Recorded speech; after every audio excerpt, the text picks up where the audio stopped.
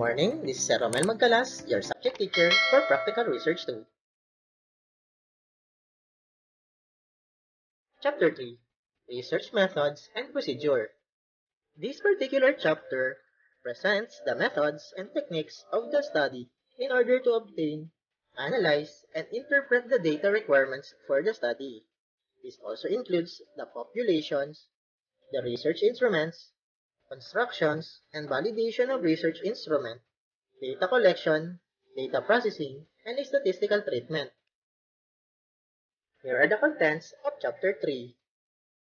Research Methodology, Data Gathering Procedure, Population and Sample of the Study, Research Instruments, and last is the validation of the instrument. Research Methodology It is necessary for the researcher to design a methodology for the problem chosen. One should note that even if the method considered in two problems is the same, methodology may be different. It is important for the researcher to know not only the research methods necessary for the research undertaken, but also the methodology. Before proceeding, it is necessary to define the terms that we'll use in differentiating these from one another. A method is a technique which the researcher uses to gather and generate data about the subject of their study. Methodology is the section of the research paper which explains why the researcher chose to use particular methods. While a research design is a plan, structures a study to ensure the data collected and generated will contain the information. Here are the types of quantitative research design. Number 1. Descriptive research. A design to give answer to the question of who, what, when, where, and how, which are linked with a research problem. Descriptive research does not answer the question why, because it does not seek to explain why certain things happen. It is applied only to describe what exists and to gather information about the current status of a certain phenomenon.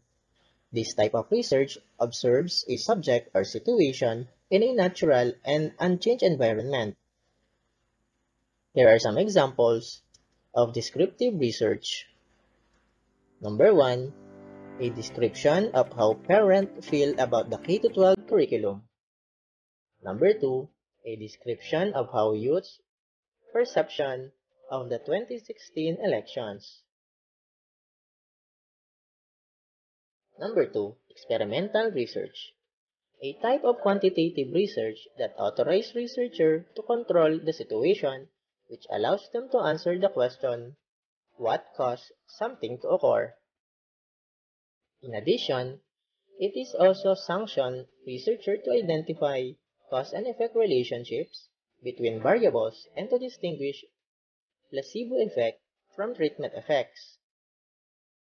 Here are some examples of experimental research. Number 1. The effect of positive reinforcement on one's attitude to excel in school. Number 2. The effect of support groups on smoking. Number 3. Survey research.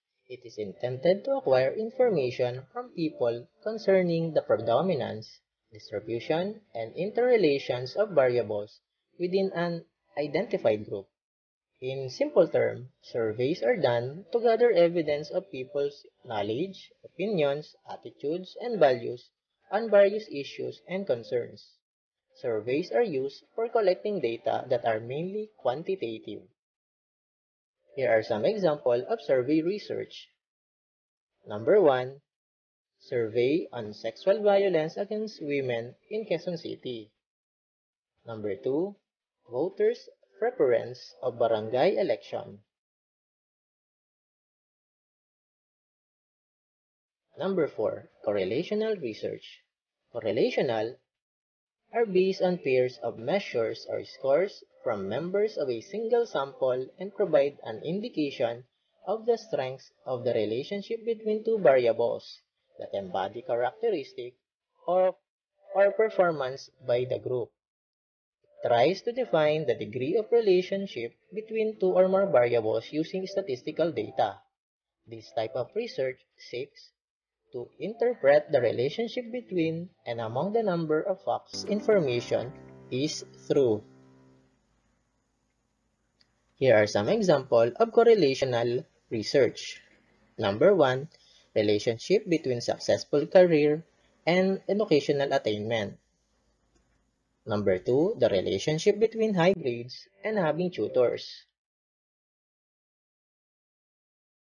The last type of quantitative research design is the casual comparative or the quasi-experimental.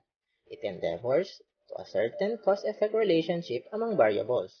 This type of research is very similar to true experiments, but with keys similar to true experiment and key dissimilarities such as number 1, an independent variable, is identified but not manipulated. Number 2, the effect of the independent variable on the dependent variable are measured. Here are some examples of casual comparative or quasi-experimental. Number 1, the effect of exercising regularly to the body image. Number 2, the effect of gender on college course choices. Here is an example of methodology of the study. In this example, they use a descriptive method.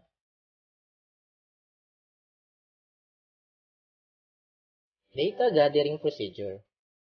It is the step-by-step -step procedure on how the researcher gathered data from the respondents.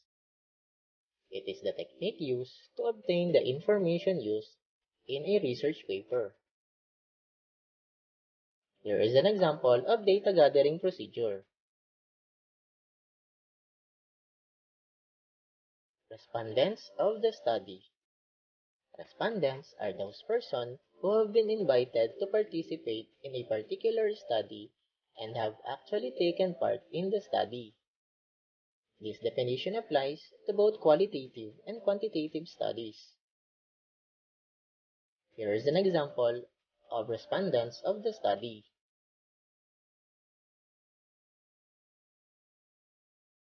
Sampling for research. Sampling is a process through which a researcher selects a portion or segment from the population at the center of the researcher's study.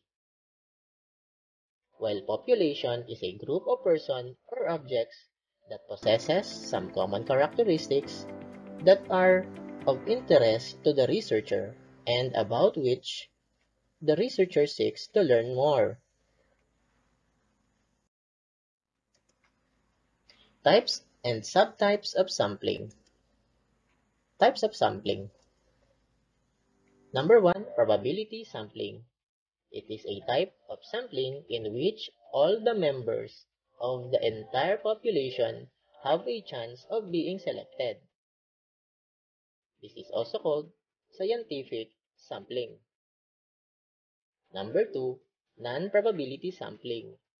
It is a process of selecting respondents in which not all the members of the entire population are given a chance of being selected as samples.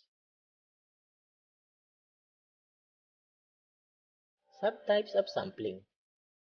Number 1. Probability sampling. Letter A. Simple random samples. It is a method of choosing sample in which all the members of the population are given an equal chance of being selected. This includes the fishbone method, table of random numbers, and the roulette wheel. B. Stratified random samples. In stratified sampling, the population is first divided into different strata, and then the sampling follows. Age, gender, and educational qualifications are some possible criteria used to divide the population into strata. Letter C. Cluster samples. Cluster samples is used when your population is very large, even possibly involving a whole country. And last is the systemic samples. It is a method of selecting every nth element of the population. Example of systemic samples are every fifth, 8 until the desired sample size is reached.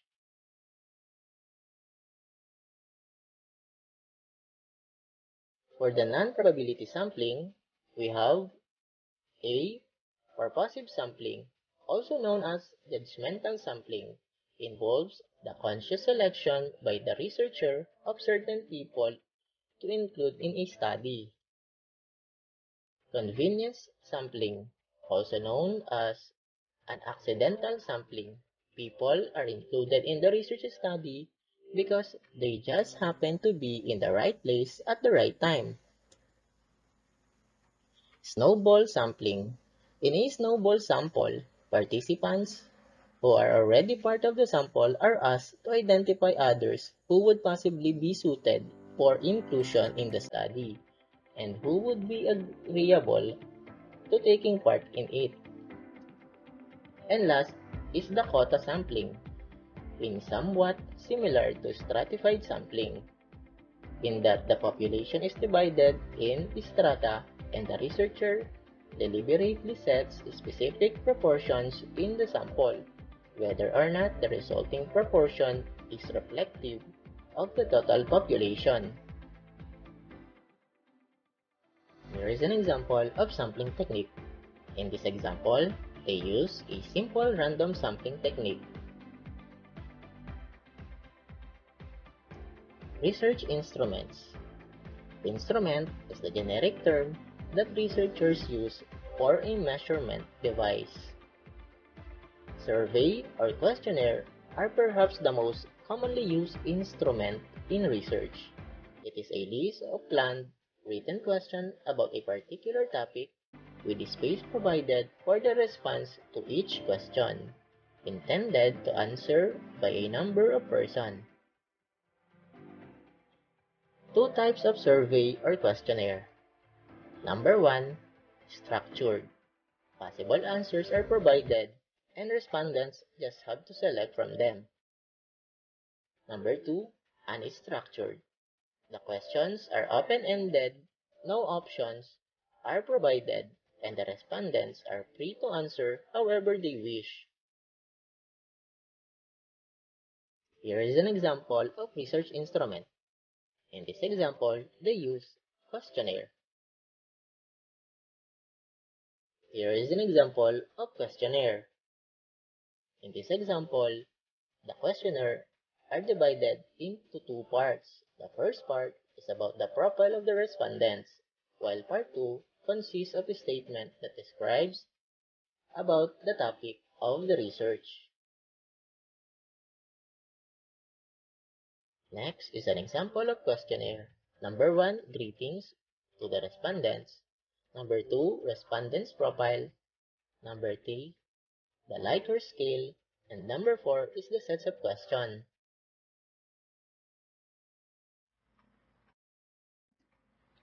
Validation of the instrument.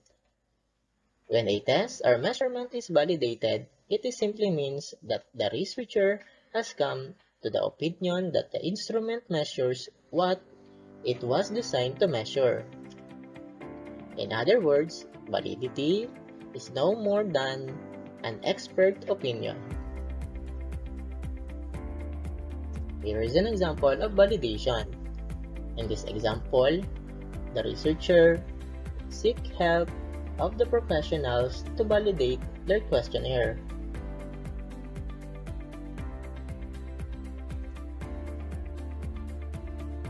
Thank you for listening. This has been Sir O